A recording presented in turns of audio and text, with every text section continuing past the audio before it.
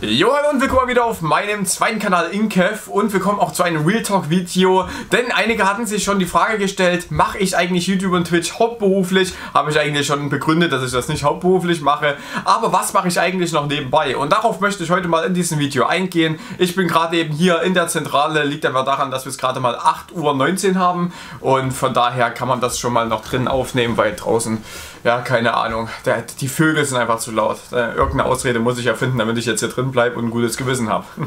also kennt ihr das auch, wenn gutes Wetter ist, ihr seid drin, zockt eine Runde oder so und habt dann ein schlechtes Gewissen, weil ihr nicht draußen wart. Das ist bei mir eigentlich immer so.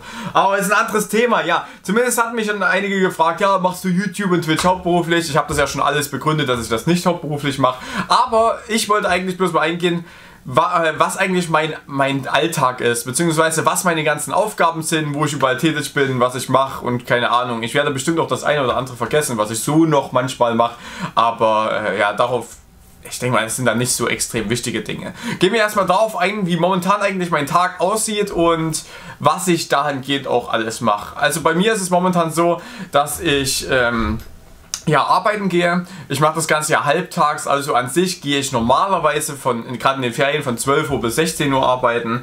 Ähm, wenn, sobald mal irgendeine Erzieherin, da ich ja Erzieher bin, sobald mal irgendeine Erzieherin krank ist, muss ich dann halt dementsprechend 8 Stunden am Tag arbeiten. Das heißt, ich mache das Doppelte an dem, was ich sonst arbeiten müsste und kann mir dann halt dann später auch Absetzer nehmen, also Tage, an denen ich nicht arbeiten muss. Irgendwann mal im Laufe des Jahres. Ja, das ist momentan so das Ding. Also ich gehe arbeiten vier Stunden in der Regel, kann aber wirklich auch sein, und das war auch jetzt schon öfter der Fall, dass es mal sieben oder acht Stunden am Tag sind. Wenn ich dann ungefähr wieder zu Hause bin, beziehungsweise bevor ich arbeiten gehe, mache ich halt manchmal solche Real Talk Videos wie die gerade eben. Ne? Ich habe jetzt gerade eben noch bis 11.30 Uhr Zeit, hier die Videos zu machen. Ähm, oder ich bearbeite ein Video auf meinem Hauptkanal und so weiter. Ne? Die Zeit, die kann ich mir da einteilen. Ich könnte auch theoretisch Sport machen, aber momentan habe ich dann auch noch Fußballtraining, aber darauf möchte ich äh, noch genauer eingehen. Ja, und zwar liegt es bei mir auch noch so daran, ich hatte mir eigentlich vorgenommen, viel Sport zu machen, also auch mal so ein bisschen Kraftsport zu machen. Ich habe, äh, wir haben so einen Raum so sozusagen zur Verfügung. Das ist ein Partyraum. Da kannst du, hast halt wenigstens den Platz, dass du ein bisschen Liegestütze machen kannst, Sit-Ups machen kannst und so weiter und so fort, was halt auch relativ angenehm ist. Ähm, das mache ich auch schon seit einer Zeit so ein bisschen.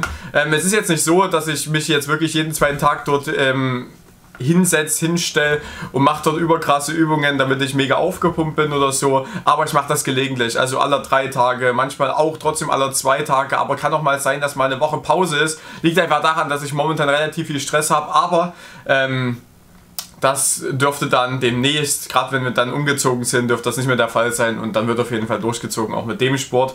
Aber ja, momentan ist eine ziemlich stressige Zeit, liegt einfach daran, dass wir umziehen und äh, dann gibt es auch so viele Sachen, die man so noch beachten muss, ne? sei es jetzt mit Versicherungen, sei es ich muss mir noch einen Steuerberater suchen und so weiter. Es sind halt noch viele Dinge, die noch, auf, äh, die noch offen stehen. Dann muss ich immer mal in die Wohnung, dann müssen wir die Wände streichen, tapezieren und so weiter. Ne? Also momentan ähm, geht es halt drauf und drüber und ja, deswegen ist man zeitlich schon ganz schön eingespannt, auch wenn ich vier Stunden an sich arbeiten gehe. Ne? Einige denken jetzt, oh, vier Stunden, wie, das ist ja gar nichts. Ich muss auch selber sagen, vier Stunden ist nicht viel.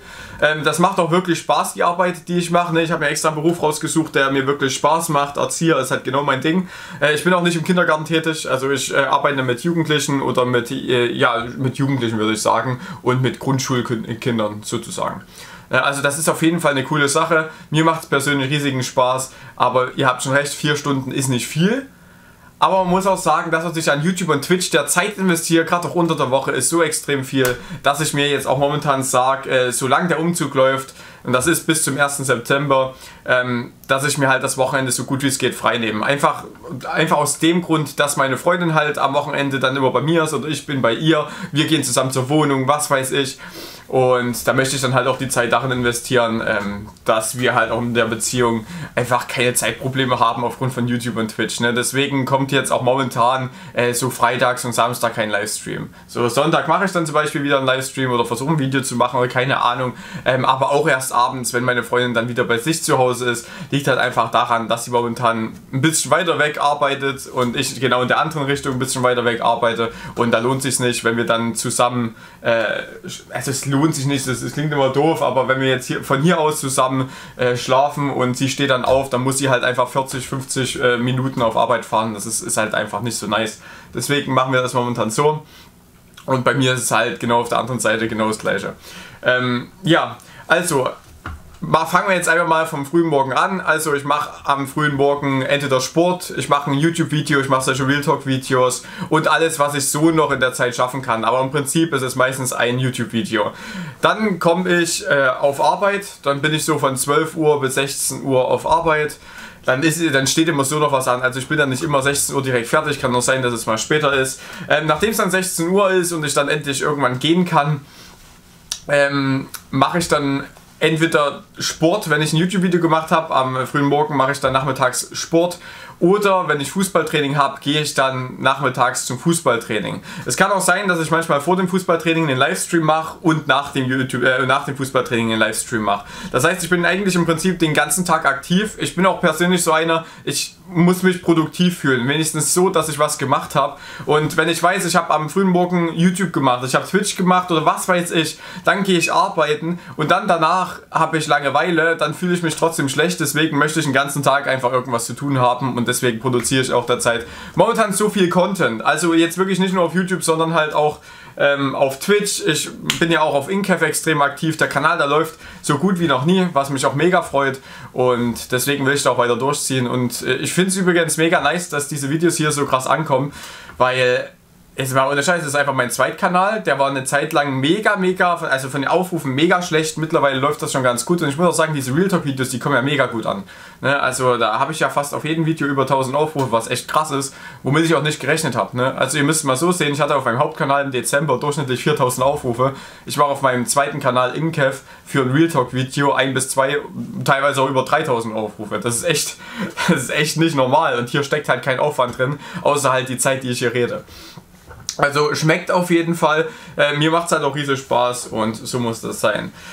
Ja, was gibt's dann eigentlich noch so? Also das Ding ist halt, ähm, ich treffe mich halt auch öfter mal mit Freunden. Also ich würde mich viel, viel gerne öfter mit Freunden treffen und das nervt mich halt auch extrem, aber derzeit ist man halt durch den Umzug auch so eingespannt, dass man am Wochenende einfach auch keine Zeit hat. Ne? Am Samstag feiert mein Opa Geburtstag, so da bin ich schon nicht da. Am Samstag habe ich auch noch ein Fußballspiel. Das heißt, den ganzen Samstag über bin ich halt zum Beispiel nicht da. Äh, jetzt am Freitag, also ihr ja, bekomme das jetzt eher erst später mit, also dann ist das Ganze schon passiert. Jetzt am Freitag habe ich halt noch, ähm, warte, müssen wir noch in die Wohnung, müssen wir noch im Baumarkt äh, Dinge einkaufen, Farbe einkaufen, äh, dann Leim einkaufen zum Tapezieren und wir müssen noch irgendwelche Abdeckfolien kaufen, damit es äh, für die Farbe, dass nichts auf den Boden tropft. Ähm, als, als sowas müssen wir einkaufen, dann möchten wir schon am Freitag in die Wohnung, müssen wir noch ein bisschen sauber machen, ne? Das da kommen alles Dinge auf einen zu, ne? die das, das kostet halt auch einfach Zeit und Kraft und da muss man einfach sagen, so die Zeit, die kannst du dann halt dementsprechend nicht für YouTube und für Twitch investieren und das tut dann natürlich weh, weil du würdest halt gerne auch dein Zeug weiter voranbringen, aber ich kann es natürlich auch verstehen, dass das gemacht werden muss. Ne? Also ich muss auch sagen, sämtliches Geld, was, was mir jemals gespendet wurde, ähm, habe ich äh, mir aufgespart und das wird dann halt alles in die Wohnung fließen und ich bin halt auch mega froh drüber, dass das alles auch momentan so gut funktioniert. Ähm, ja, also ich freue mich auf jeden Fall mega auf die Wohnung. Genau, und am Sonntag hatten wir dann mal vor, meine Oma zu besuchen und dann nachmittags einfach ähm, baden zu gehen. Ne? Also das ist, äh, das hatten wir schon lange mal vorgehabt, aber jetzt aufgrund der, des Umzugs und der ganzen letzten stressigen Zeit ähm, hatten wir es einfach nicht geschafft. Deswegen versuchen wir dann äh, ja mal wieder einen kompletten Tag frei zu nehmen und zu chillen, sage ich mal. Ne? Da, da habe ich auch mega Bock drauf. Und ab Montag geht dann wieder halt das normale Leben los, indem man halt wieder äh, YouTube-Video macht dann wieder arbeiten geht. Achso, da muss ich dann glaube ich wieder 8 Stunden arbeiten. Das ist natürlich auch wieder sehr, sehr nice. Aber äh, ja, ihr wisst auf jeden Fall Bescheid. Also bei den 8 Stunden Tagen kann es schon sein, dass ich dann, also nicht ausgeloggt bin, aber dass ich dann schon ein bisschen fertig bin. Gerade am Nachmittag oder auch dann am Abend. Ähm, Gerade wenn ich dann noch Fußballtraining hatte, ist das natürlich auch eine Zeit, wo man sagt, ja, da könntest du dich auch mal ausruhen dann kannst du auch mal eher schlafen gehen. Aber ich bin persönlich so einer, ich muss irgendwas gemacht haben, auch, von, auch für YouTube und Twitch. Das ist mein Ding, das macht mir riesigen Spaß und deswegen bin ich halt wirklich auch bis nachts meistens aktiv und stehe dann halt früh schon wieder zeitig auf, um halt sowas zu machen wie heute. Es gibt auch manchmal so Tage, da, da klingelt mein Wecker, ich weiß ganz genau, ich könnte länger schlafen, aber ich will halt auch noch YouTube machen und so. Und dann drücke ich einfach auf Snooze und dann verpenne ich einfach nochmal über eine Stunde und da weiß ich wieder ganz genau, so eine Scheiße, du hast jetzt einfach eine Stunde länger geschlafen, anstatt du einfach eine Stunde mehr für YouTube und äh, Twitch investierst. Das ist so dämlich. Aber es tut natürlich auf jeden Fall weh.